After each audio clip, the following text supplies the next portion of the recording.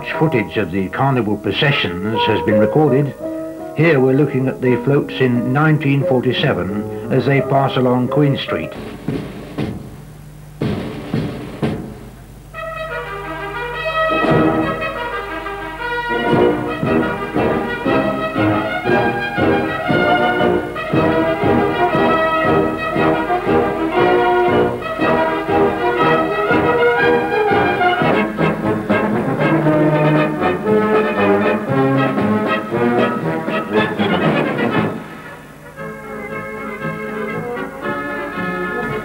Ian McMeekan, and I've been connected with Colchester Carnival for many years, and in fact, for 10 years, I was responsible for running the carnival.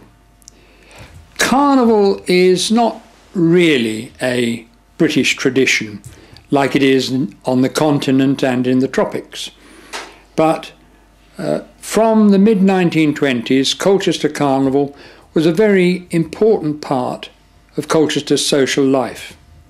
In those days, of course, the carnival was held to support the hospital. Hospitals were supported by voluntary contributions, and the Colchester Carnival raised quite substantial sums to support the local hospital. It was very much a community activity. It was held on a Thursday, which people may remember was early closing day in Colchester, so the shop people could prepare their floats. And not only did the shop people take part in it, but of course many of the local uh, factories and industries and other groups, uh, scouts and guides, young people, schools, and so on. One of the many attractions, of course, was always Hollington's factory. Uh, they, the girls and the staff from there often dressed up as Toy Town soldiers. And it was very much uh, part of Colchester's life and activity, a lot of fun, and raised a lot of money. Well, of course, when the Second World War came along, that stopped, finished. No carnivals then. No carnivals immediately after the war, although there were certain processions. In 1951, however, we had the Festival of Britain, and there was a carnival procession to celebrate that particular event. Colchester's celebration of the Festival of Britain lost money. So a group of people decided to run some activities to liquidate this loss. And they very quickly formed themselves into the Colchester Community Fund.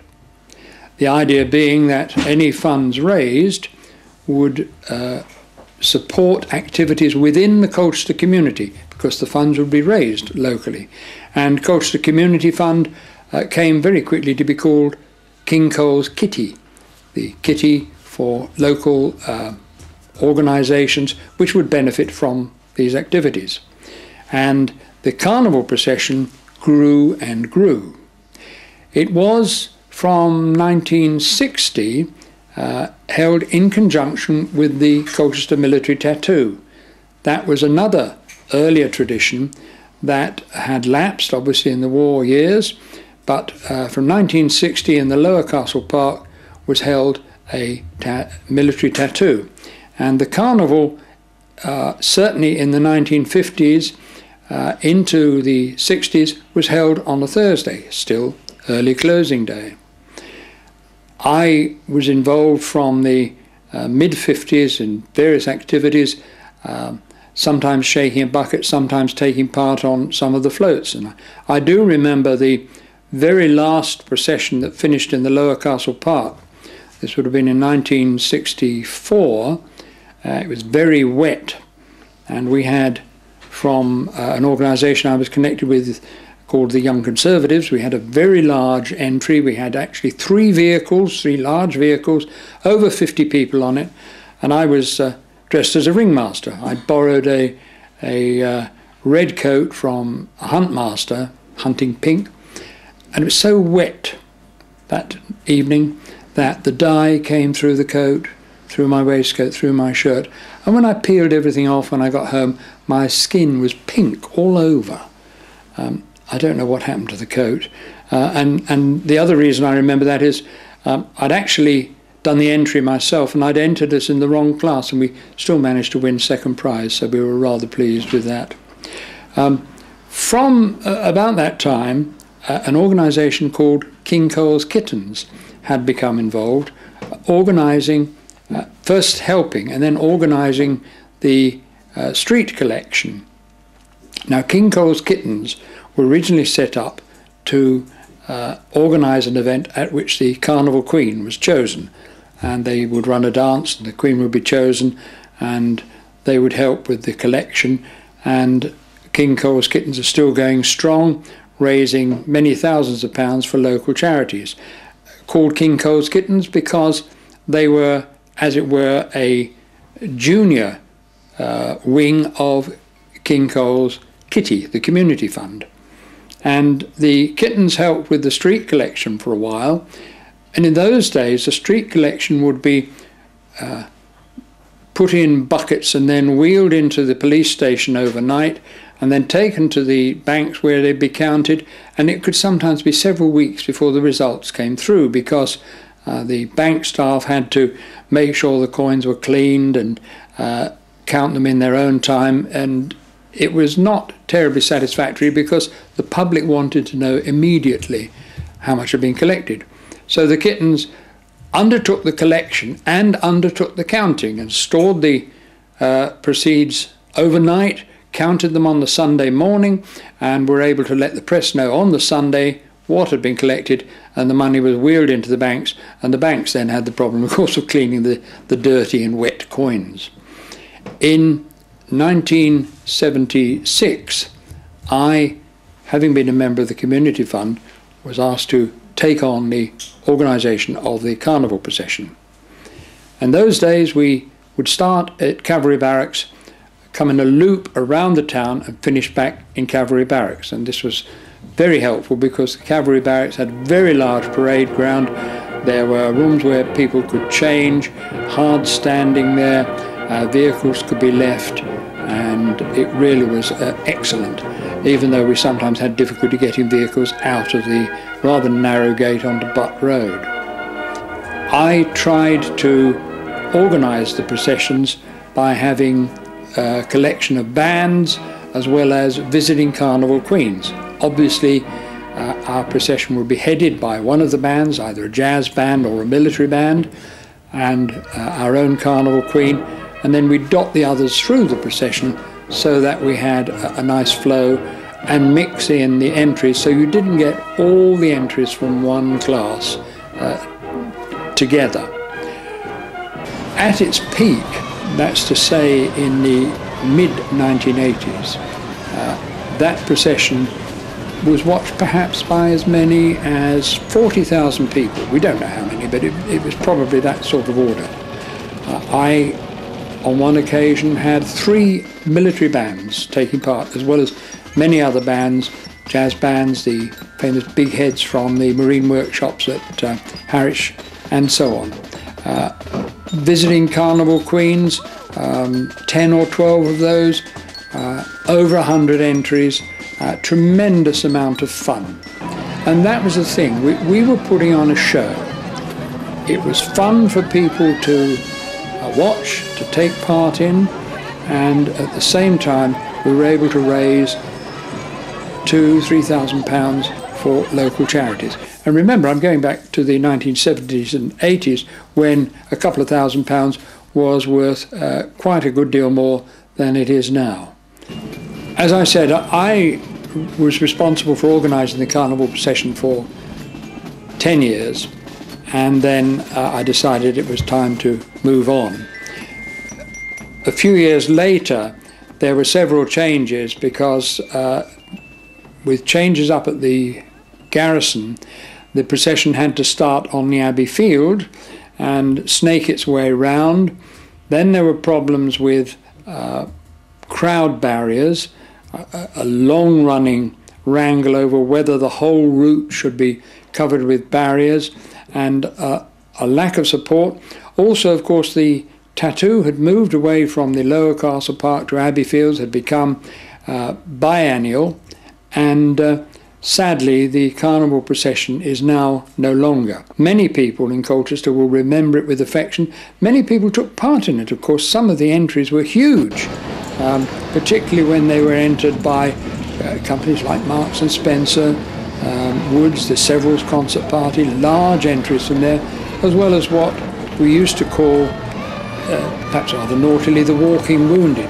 We would have walking entries, we'd have cycle entries, um, junior entries, artistic, humorous. So it was a whole range of uh, types of activity, and uh, sometimes there'd be people throwing things to the crowd. Not a good idea because the crowd would then throw things back at them, sometimes money. I do remember somebody threw a penny at me, not to me, at me, and it cut me just above the forehead. Um, and I was dressed as a pirate on that particular occasion, and uh, the then Carnival Queen said uh, afterwards, my goodness, your makeup is very convincing. I said, It's not makeup, it's blood. And she said, oh. But uh, that did happen occasionally. Uh, on occasion, we had people who would spray too much water or other liquids on the crowd, and we, we'd tell them off, and they'd behave themselves better next time round. Um, we didn't get people leaping on and off floats too much. Um, we, we had, and I think it's fair to say, a lot of fun we brought light and colour to Colchester, um, tied in, as I say, with the, the tattoo, and in the centre of Colchester, uh, the, the streets that we knew, and there was all this light, colour, music, fun, and it was really great. I'm very sad that it is now longer gone, but we've moved on from that sort of thing. Uh, Colchester Carnival was a great highlight of everybody's year. I'm proud to have been involved with it. And I think anybody who took part in it was proud and pleased and will have many happy memories of Colchester Carnival, whatever year. I think the first Carnival Queen in modern times would have been uh, 1951 Carnival Queen for the uh, Festival of Britain. And I'm not absolutely sure if there was a carnival and thus a carnival queen in 52, but certainly 53 onwards. There were carnival queens right up until the demise of the uh, carnival, uh, must have been uh, very late 1990s. I'm not absolutely sure of the date because I was not then directly involved. Local girls, they weren't beauty queens as such, some of them were particularly attractive, but they were uh, girls who uh, were local or locally based and there was no swimsuit parade or anything like that ever. And uh, many of them did a very fine job representing the town at other carnivals as well as presiding over our carnival and adding to the uh, gaiety of nations, as they say. At the, uh, the town hall, of course, the procession would go past the, the mayor and uh, the chairman of the community fund. Uh, by that time, of course, many of the people on the floats would be getting a little bit uh, excited, sometimes overexcited. So their salute to the mayor and the chairman would take various forms, uh, all taken in good part by the crowds, and they really were crowds uh, by the town hall. And also, of course, the families of councillors and people like that would be up on the uh, balcony from the mayor's parlour and peering out of the windows. So it was quite fun going there. I have to say that uh, one thing I didn't mention earlier, of course, the procession would come down either down Maldon Road or Butt Road, uh, Head Street, High Street, and work its way round, and then uh, latterly back up to Cavalry Barracks. Whereas, as I mentioned earlier, in up to 63 we went into the Lower Castle Park. That was changed because of the size of the vehicles, having difficulty getting in and even more getting out. Uh, but uh, at one time, of course, they went the other way round the town, but with the one-way traffic, uh, they followed the, the one-way scheme. The carnival procession would be on the Saturday, and by the time I got involved, of course, it was an evening procession. And then uh, the following week was the tattoo. There'd be a dress rehearsal on the Tuesday evening, first public performance on the Wednesday evening. All the performers had to come down from their temporary accommodation at the barracks because many of them would come in from uh, other places and to be visiting foreign turns. So they would march down through the town on the Wednesday evening, uh, following the same route, except that when they got down near the bottom end of High Street, they'd turn down Maidenburgh Street and go into the holding area by the Castle Park. The salute being taken this time by the Mayor and the garrison commander, usually, uh, at the Town Hall. And the King Cole's Kittens would organise a collection at that procession, and again on the Saturday afternoon, before the matinee performance, uh, another procession, another uh, street collection. So this boosted the Carnival street collections quite considerably, latterly by as much as about a thousand pounds on the two processions. We had a large uh, amount of support from various voluntary bodies and people helping with the marshalling because marshalling onto cavalry barracks was quite an art in itself because you had to make sure that nobody coming in actually blocked the way out, either through the gate or laterally straight onto uh, the spur from Circular Road.